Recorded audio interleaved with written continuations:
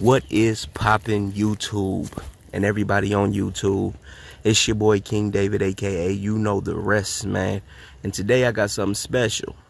Special to me anyway.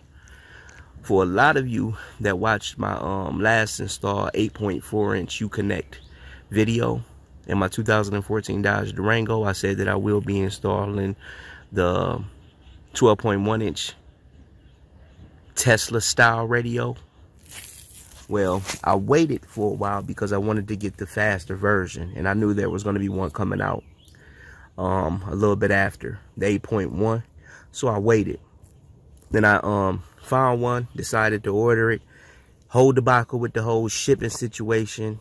It, it did come pretty fast compared to a lot of other people that I know purchased these radios. Um, could have came even faster if the seller would have let it go when they were supposed to. But anyway, we're here now. I have the radio. I've already started to unbox it. And the reason that I did that is because of the tape that they use. The shit, I don't know what type of tape that shit is, but it's locked up like Fort Knox. It's got to be like Teflon tape or something. I don't know. That shit strong as hell. But um, there is that tape and some orange tape. They wrap around it 12 times. And I know they do this because it's going to be um, in transit, you know, and you know how packages get dealt with sometimes by UPS or whatever carrier. You know, sometimes they just mishandle them. And these are screens, so something could definitely go wrong in transit. I'm glad it didn't. It made it here to me in one piece. Started opening it, and this is what we have. Um, it comes with this stuff on the inside of it. This is covering the screen. Also, this foam here is covering the screen.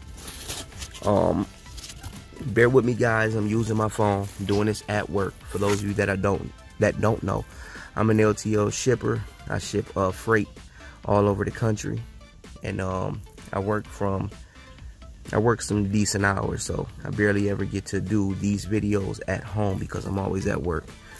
But anyway, um, let's get straight to the point reason we're here. This also covers it it's like some uh it's the bubble wrap. You know they cover it with that as well. Inside of the um box is going to be the actual radio itself. I don't want to do too much moving it around because i'm not in a secure position. But anyway um take it out so you guys can see it. Set that there set that right there. Anyway, that is the um, 12.1 inch Android uh, 9.1 powered. I'll, uh, once I find out the exact specs, then I'll probably leave that in the installation video. This right here is just going to be the unboxing video just to show you guys what comes in the box. Um, and here's all of the wires that's to be used to connect the radio. It's pretty much plug and play. It's for my actual car, which is the 2014 Dodge Durango. But these are fit in 2013 up to 2019, I believe. Don't quote me on that. I'm not 100% sure, but I, I know for a fact it's from 2013 um, up to 2019, maybe the 20s. But anyway, it comes with all of those buttons on it. Um, so that way it'll work with any one of those trims, the RT, uh, SXT, SRT, um, any one of those it should work with. So if you as you can see, my dash only has two buttons. It's going to be the echo and then the traction control on and off button. Um, Here's the back of the radio. Turn to the back. So the clips from my old uh from my old bezel, those clips will go on those right there. I'll take my clips off of there and put them on here. Um, it's not a, a lot going on in the back.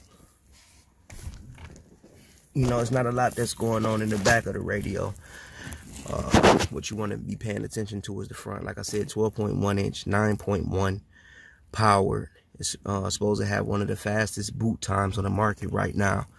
But uh, we'll see all that, all of that once I actually get it installed in the vehicle. And that video, I will also be doing a video on that as well. Now, um, I ordered it on the 5th of this month. I just now got it today.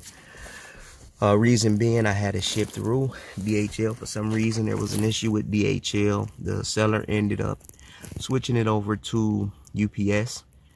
They then held it. Um, they switched it over to UPS on the 9th. They held it for some reason until the 15th. They gave me a bunch of different reasons why they held it. I don't know why. I don't care. Glad it's here. But um, it, it shipped. It actually shipped, got into UPS's hands on the 15th and I received it on the um 18th. So three days, three total days it took for it to get from Hong Kong to the to the USA. It's here now. Glad I got it. Um, ready to get in, it installed. I'll probably do it later on today or um Friday after work maybe. I don't know. It just all depends. But whenever I do it, I'll post a video letting you guys see exactly how it's installed in case that in case you decide you want to get one now these tesla style um screens android radios they come for all different models all different types of cars i should be installing one in a um chevy cruze a little later here um if you guys have a question on whether or not it'll fit for your car, leave a comment in the uh, comment section and I'll look that up for you. And I'll get back to you with uh, pictures, prices, things of that nature.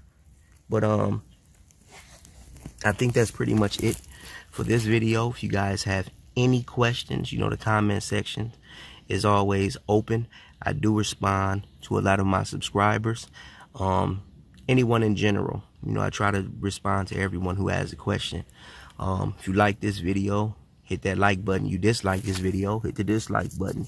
But um, one thing I want you guys to remember is you have to subscribe, subscribe, subscribe. I cannot stress that enough. It helps the channel. Um, trying to grow this channel, and I um can only do that with you guys' help and you guys' support. I appreciate those of you who have already been supporting me, this is your boy, King David, aka King Shit. We lit, and I'm out.